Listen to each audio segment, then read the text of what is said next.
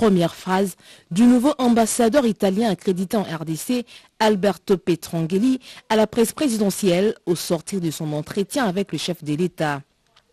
C'était également l'occasion pour les deux personnalités d'évoquer le renforcement des coopérations entre l'Italie et la RDC dans le domaine économique, mais surtout le lien historique entre les deux pays.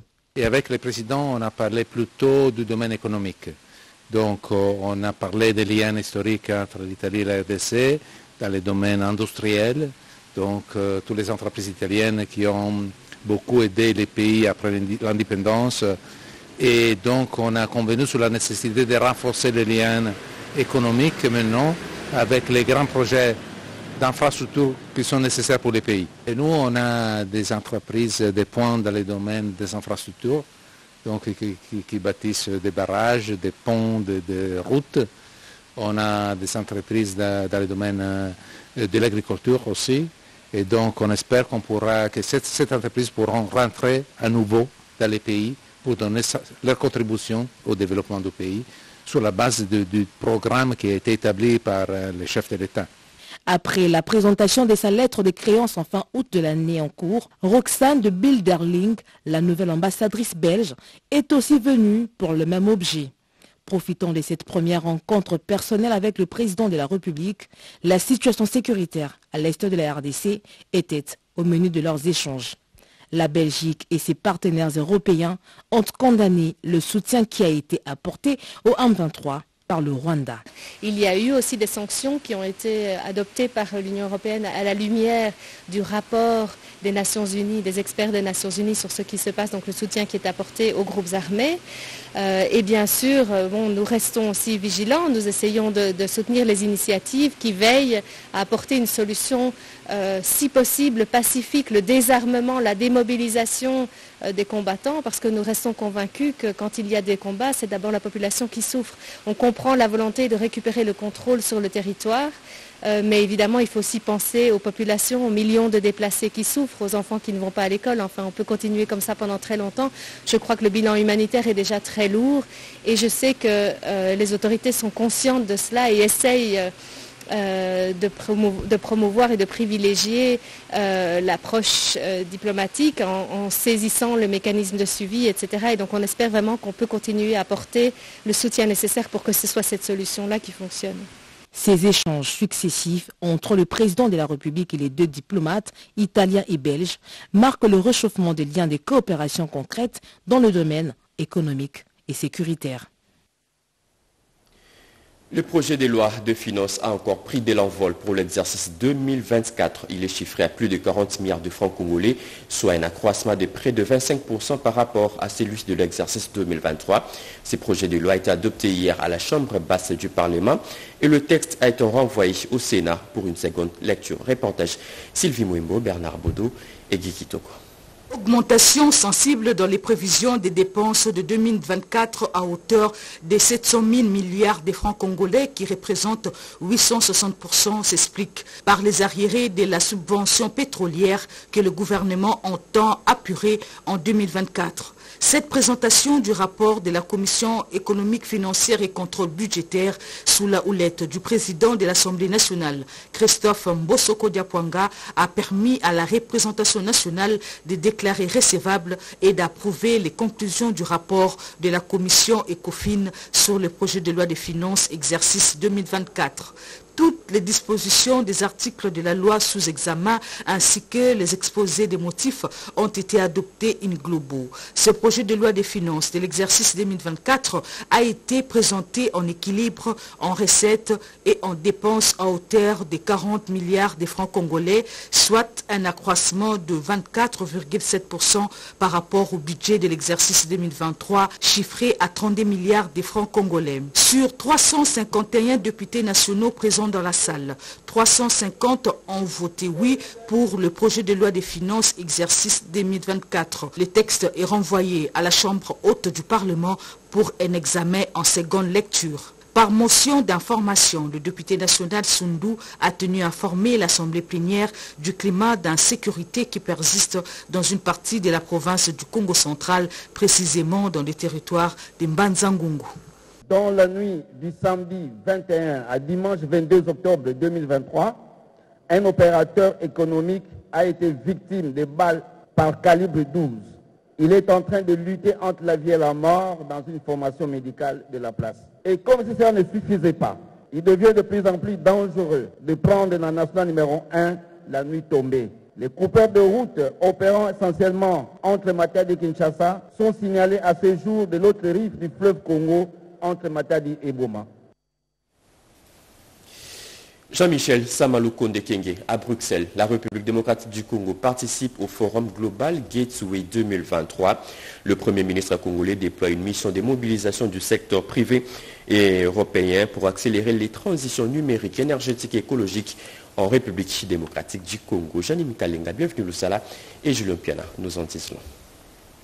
Forum Global Gateway à Bruxelles, le Premier ministre Jean-Michel Samaloukonde Kenge prend part à ces assises au nom de la République démocratique du Congo pour mobiliser le secteur privé européen afin d'accélérer les transitions numériques, énergétiques et écologiques en République démocratique du Congo. C'est dans la nuit que le chef du gouvernement congolais Jean-Michel Samaloukonde Kenge est arrivé à la tête d'une importante délégation de membres du gouvernement, notamment les ministres des Mines, de l'énergie, des transports, voies des communications et des enclavements, de l'industrie et celui des hydrocarbures. La ministre des Mines, Samba Kalambay, explique l'importance de la présence de la République démocratique du Congo à cette rencontre.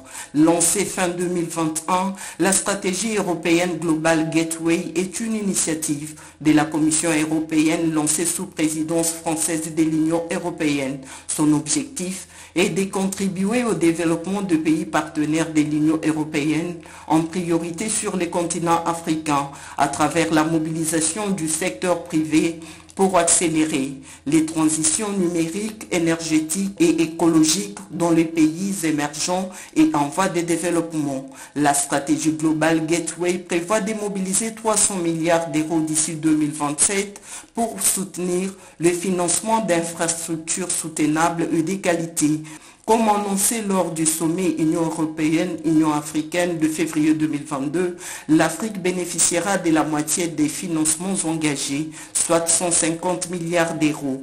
Organisé par la Direction générale des partenariats internationaux de la Commission européenne, le Forum Gateway se tient les 25 et 26 octobre à Bruxelles, en Belgique. La première, pierre taillée, le masque, les lances et les haches, symboles du pouvoir du royaume congolais, expliqué dans le moindre détail à une délégation des parlementaires français conduite par Jean-Luc Mélenchon. Ces parlementaires français de passagers au Musée national du Congo ont été séduits par la richesse de la culture congolaise. Pierre Kimambe ça était dans leur suite.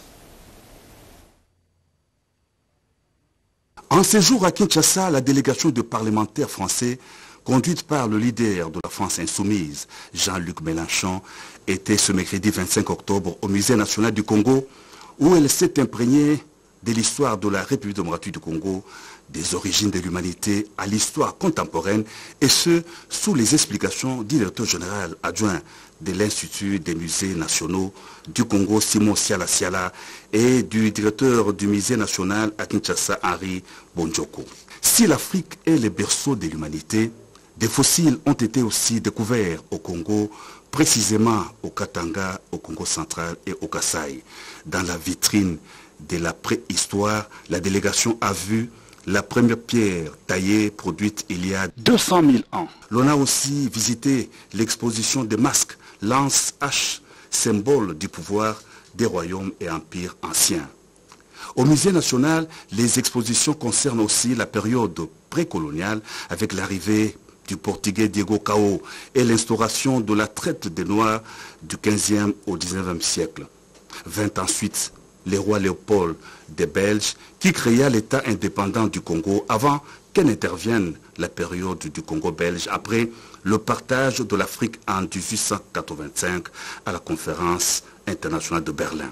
Enfin, Jean-Luc Mélenchon et sa délégation ont suivi le tracé de l'histoire de la RDC de 1960 à 2018 à l'avènement du président Félix-Antoine Tshisekedi Chilombo à la magistrature suprême. Ils ont découvert plusieurs autres expositions du Musée national du Congo. ici, nous avons une véritable merveille, parce que euh, nous voyons d'abord l'extraordinaire. Rappelez-vous que nous sommes des Occidentaux prétentieux, euh, comme tous les Occidentaux, les Européens. Et nous découvrons euh, la, puissance, la profondeur de la créativité humaine qui passe par des formes qui n'existent pas dans nos, régions et dont nous ressentons immédiatement l'émotion. Euh, parce que c'est beau, parce que ça nous parle. Alors peut-être que ça nous, interprétons, mais ça nous parle. Et c'est extraordinaire de voir ça. De même, nous voyons une foule d'objets techniques qui euh, manifestent une, certaine qualité technique compte tenu des problèmes qu'avaient à régler les gens. Et nous voyons qu'ils sont faits dans des matériaux périssables. Et par conséquent, nous ne nous étonnons pas que la trace ait la plupart du temps disparu. Mais nous avons la certitude que les sociétés d'avant l'écriture, euh, ou privées d'écriture, parce que les temps se chevauchent, ont été en même temps capables d'être des, sociétés extrêmement développées techniquement. Très édifiée, la délégation des parlementaires français a quitté le site après avoir signé tour à tour dans les livres d'or du Musée national du Congo. L'élection du nouveau président de l'Union interparlementaire aura lieu demain au terme de la clôture des 147e Assemblée générale qui se tient à Luanda en Angola. Hier, le travail ont été consacrés à l'audition de débat général sur la situation des pays en conflit. La RDC, par le biais du premier vice-président de l'Assemblée nationale, a éclairé les membres de la Commission des droits de l'homme sur l'évolution du processus électoral dans son pays. De précision avec notre envoyé spécial Robert Ndechisese.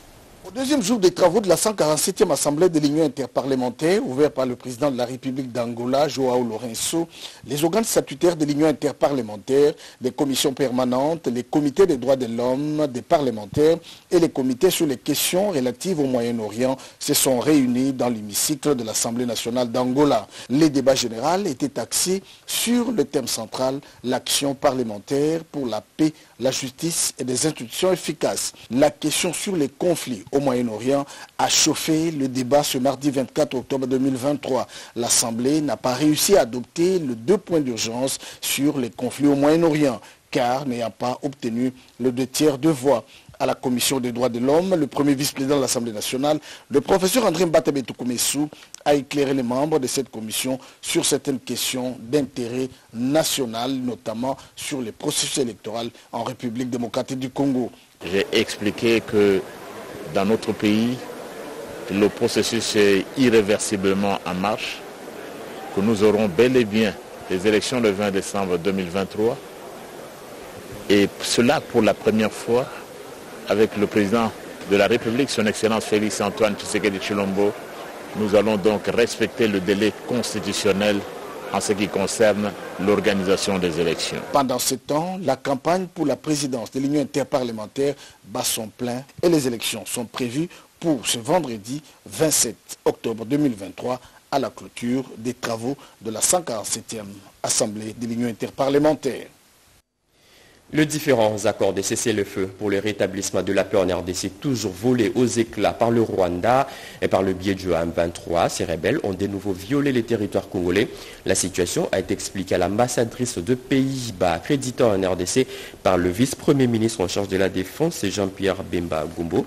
C'était au cours des échanges entre les deux personnalités, comme nous dit Nicole Sesseploka.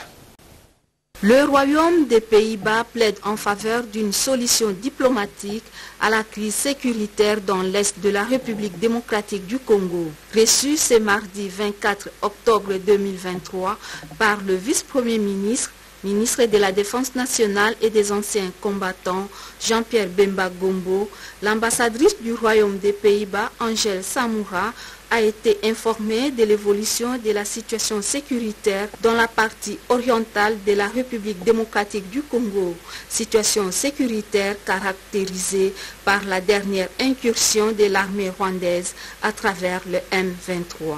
C'était une visite de courtoisie, euh, mais aussi pour euh, m'informer sur la situation de sécurité à l'Est. Euh, on a eu une conversation très franche et très informative et j'ai bien apprécié l'entretien avec le ministre. Il nous a informés sur les préoccupations de l'attaque rwandais et on a discuté un petit peu la réaction internationale sur le sujet.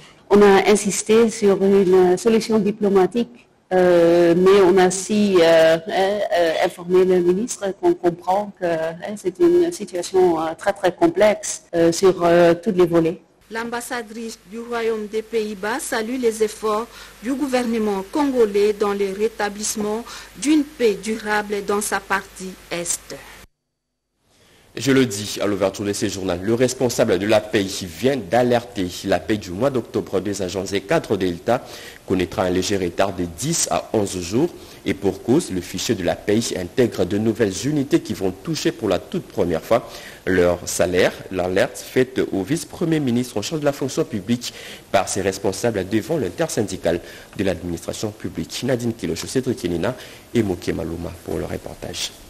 Quelques jours de la fin du mois d'octobre, le vice-premier ministre, ministre de la fonction publique, Jean-Pierre Liaou, a reçu le président Haï du comité de suivi de la paie des fonctionnaires, l'ordonnateur délégué du gouvernement, ainsi que le président de l'intersyndicale nationale de l'administration publique INAP, venu lui faire rapport sur l'évolution de la préparation de la paie des agents publics de l'État du mois d'octobre. De ce rapport, il ressort que la paie de ce mois d'octobre connaîtra un léger retard dû aux multiples opérations notamment à l'intégration des nouveaux agents mécanisés dans le système. Les ajustements qui sont en train d'être faits, les ajustements euh, décidés lors des travaux de banque syndicale et le gouvernement, mais aussi les nouvelles mécanisations font en sorte qu'il y ait beaucoup de travail à faire au niveau de la direction de la paix. Et cela engendrera certainement un glissement dans le paiement des salaires du mois d'octobre.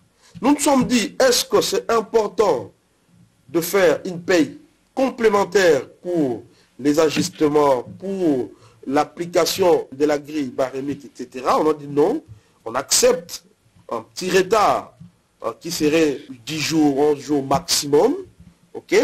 Au lieu de mettre les fonctionnaires dans une situation où ils seront appelés suivre les compléments de leur rémunération. Avant de présenter leur rapport au vice-premier ministre, ministre en charge de la fonction publique Jean-Pierre Liaou, l'équipe a été dans tous les services de la direction de paye pour se rendre compte de la façon dont les agents de cette direction préparent des états de paye pour permettre à l'ensemble de l'administration publique du pays d'être payé dans des bonnes conditions malgré le petit retard enregistré. Autre titre annoncé à l'ouverture de ce journal, plus d'inquiétude pour acheminer le kit électoraux dans les Congo profonds, même dans des zones difficilement accessibles. La CENI vient de se doter de 28 bateaux, dont 9 de grands formats pour assurer la mobilité des matériels et aussi des agents. Et comment utiliser ces bateaux? Une session de formation vient d'être euh, organisée à l'attention du personnel navigant de la CENI, formation lancée par le président Denis Kadima, comme nous disent Teti Samba. Et je reste au la Commission électorale nationale indépendante s'est dotée de 28 bateaux, dont 9 de grands formats de type catamaran et 9 Wally solides et fiables pour renforcer les capacités de déploiement du matériel électoral sur l'ensemble du pays et plus particulièrement dans les zones d'accès difficiles. C'est dans ce cadre que son président, Denis Kadima Kazadi, a lancé ce mercredi 25 octobre 2023 la formation du personnel navigant devant assurer la mobilité du matériel électoral et des agents à travers le territoire national en élections du 20 décembre 2023. Je vous invite à vous appliquer en vue d'acquérir toutes les instructions prévues dans le programme de cette formation. Sachez que les bateaux mis à votre disposition sont exclusivement destinés au seul transport de, matériel et éventuellement du personnel opérationnel de la CENI. Pour sa part, le rapporteur adjoint Paul Moindou a présenté les objectifs de cette formation de deux jours qui sera plus pratique que théorique dont les bénéficiaires sont des capitaines et des matelots. Par ailleurs, le questeur adjoint Sylvie Birimbano a relevé que la CENI devra acheminer le matériel à partir de quatre hubs principaux jusqu'aux 250 sites de formation pour approvisionner près de 7549 centres locaux de compilation des résultats dans le respect des prescrits du calendrier électoral. Auparavant, le secrétaire exécutif national Totomabik Tutokani a clairement noté que depuis quelques mois, la CENI a lancé des grandes manœuvres logistiques pour le déploiement de différents matériels. Dans ce cadre qu'elle possède dans son patrimoine du matériel roulant et flottant qui lui facilite l'opération de distribution du matériel électoral vers ses 179 antennes. Cette cérémonie du lancement était marquée par une randonnée fluviale au cours de laquelle les membres de la CENI ont pris la mesure des aptitudes de ces bateaux en naviguant sur le fleuve Congo. Des efforts qui viennent d'être couronnés. Patrick Koumouyaya, ministre de la Communication et Médias, reçu hier un nouveau prix. Le porte-parole du gouvernement a été primé par la structure Bomoko Unity comme étant un modèle de la jeunesse. Parmi les prouesses, l'organisation des États généraux de la communication et médias. Plus de précision avec Gaëtan Magala. Ministre dynamique, inventif et ingénieux, Patrick Mouyaya a su accomplir plusieurs réalisations palpables, faisant de lui le bon élève du gouvernement Samalou Kondé, organisation des états généraux de la communication et médias, modernisation de la télévision nationale, coordination de son secteur lors de l'arrivée du pape François en RDC, innovation avec le briefing presse. Mesdames et messieurs de la presse, bonsoir. Le ministre de la Communication et Médias, Patrick Mouyaya, à travers le changement de narratif, su donner le temps d'une jeunesse qui fait bouger le ligne. C'est une manière pour nous de, vous encourager encore d'aller plus, de faire encore plus. C'est dans ces cadres que le trophée Bomoko Unite a immortalisé dans la mémoire collective le passage remarquable d'une valeureuse personnalité aux ambitions effrénées et d'un modèle de la jeunesse. Qu'il est à la tête euh, du ministère, euh, il y a eu des touches euh, qui ont redoré l'image de la République et les actions du gouvernement. Il essaye d'éclairer. Et pour nous, Bomoko Unity, on a dit c'est dans, dans notre esprit, Bomoko Unity, qu'on avait l'obligation de le congratuler pour qu'il puisse faire encore plus dans l'avenir. Notons que le président de la RDC, Félix Antoine Tshisekedi Chilombo, est le premier citoyen congolais à recevoir le trophée Bomoko Unite en 2019 à Abuja lorsque il avait sous sa délégation le jeunes entrepreneurs du pays dans le cadre de la fondation Tony Elomé. Ensuite, d'autres autorités avaient également bénéficié de ces prix. Une première en RDC. Le pays a célébré pour la toute première fois la journée nationale des l'or le mardi dernier. La catastrophe des ressources orifères en RDC, les enjeux de la canalisation des l'or, des thèmes évoqués au cours de cette journée. Les sociétés orifères ont pris l'engagement d'améliorer leur contribution à l'impact social de la population. Mireille Ndeke, Joël Mabaya, pour plus de précision. Les acteurs de l'écosystème orifère en RDC ont pris part à ces assises pour réfléchir autour du thème l'or pilier structurant du développement en RDC. Toutes les questions liées à ce minerai ont été abordées au cours de cette journée. Les comités d'organisation de Wolo, avec l'appui de la Chambre de mines, ont gagné les paris d'organiser ce forum de haut niveau, une première en RDC et une réponse à la vision du chef de l'État qui tient à l'assainissement du climat des affaires. J'adresse mes remerciements appuyés à son Excellence M. Félix Antoine Tshisekedi Chilombo, chef de l'État, pour le parrainage qu'il a daigné accorder à cet événement, mais aussi pour le climat des affaires qu'il a initié, qui a permis la tenue de ces assises. La Chambre de mines, à travers sa coordinatrice Bernadette Poundou, a témoigné sa reconnaissance à tous les acteurs du secteur pour leur participation. Votre présence qui nous honore témoigne de l'intérêt que vous portez au secteur minier, le plus grand contributeur du budget de l'État et le pied de l'économie de notre pays en général et à celui de l'or en particulier. Réel moment de partage d'expérience dans l'exploitation de l'or parmi les intervenants. Kibali. Nous avons utilisé l'exemple de Kibali, qui est donc euh, ce type de mine qui peuvent justement répondre à ce genre de questions en investissant même dans le tourisme avec euh, des rhinocéros? Bref, pour utiliser donc euh, l'or? De thèmes aussi variés qui riches ont été abordés par des panélistes, parmi lesquels les enjeux de la canalisation de l'or issu de l'exploitation artisanale. 24 octobre 2023, Paris gagné pour cette première édition, les organisateurs ont émis le vœu de rendre pérenne cette date comme grande messe de l'or en RDC. Deux grandes fédérations des entreprises de l'État de Goiás au Brésil appellent leurs adhérents à investir en RDC. Cet appel leur a été lancé au cours d'une séance de travail avec la délégation congolaise en mission économique au Brésil. Les tourismes, l'agriculture et les services sont les trois secteurs prioritaires pour ces investisseurs. C'est un reportage de Patrick Michel Moukouy rendu par Jean-Richard Koualé. Capitale et plus grande ville de l'État brésilien de Goiás, Guyana constitue la seconde étape de la mission économique congolaise au Brésil. L'équipe conduite par Anthony Kinzo Kamole, directeur général de l'ANAPI, a tenu une séance d'échange d'expériences avec deux grandes fédérations du commerce, de l'agriculture et l'élevage de l'État de Goiás, réunion à laquelle s'est associé le secrétariat à l'agriculture. Ces fédérations font le pont entre 33 syndicats patronaux et 300 grandes entreprises qui représentent 70% du PIB national du Brésil. Des chiffres repris dans la présentation de Marco Martins, vice-président de la FECO Mercure. La même attention a été accordée à la brève présentation du directeur général de l'ANAPI et l'ambassadeur de la République démocratique du Congo au Brésil, qui, outre les politiques du gouvernement en faveur des investissements directs étrangers, ont lancé le bal des discussions entre entrepreneurs dans l'optique de créer un cadre d'échange pour les investissements futurs. Il est très bien impressionné, euh, surtout par la diversité des opportunités qu'il y a, qui sont été présentées et qu'il y a beaucoup de synergies avec, euh, entre l'État de Goiás et le Congo. Et surtout les domaines de l'agriculture, il y a beaucoup d'espace pour approfondir euh, la relation, mais aussi l'échange de technologies.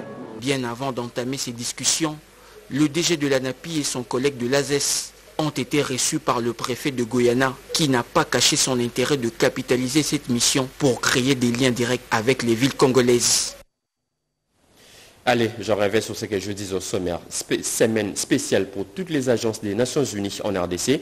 Cette grande famille célèbre depuis le lundi dernier la semaine des Nations Unies qui prend fin demain vendredi. Deux ateliers de débat, des conférences et autres activités se tiennent au Collège Boboto. Une célébration qui coïncide avec la commémoration du 78e anniversaire des Nations Unies. Mamita Bangoulou pour la suite. de la société civile, professionnels des médias et les fonctionnaires des systèmes spécialisés des Nations Unies ont attentivement écouté les représentants de l'UNESCO qui a parlé du mandat des Nations Unies et de son historique. Quand on travaille ensemble, on peut aller plus loin.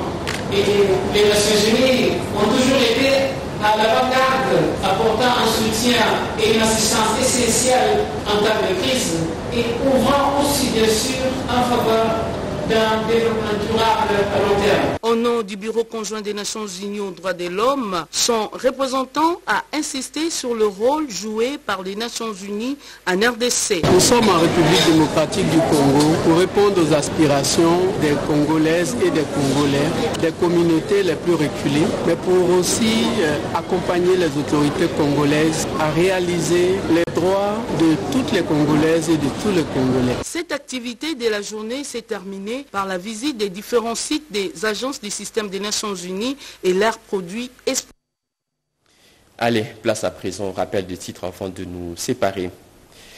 Fini les inquiétudes pour acheminer les kits électoraux dans les Congo profonds, même dans des zones difficilement accessibles. La CENI vient de se doter de 28 bateaux, dont 9 grands formats pour assurer la mobilité du matériel et aussi des agents.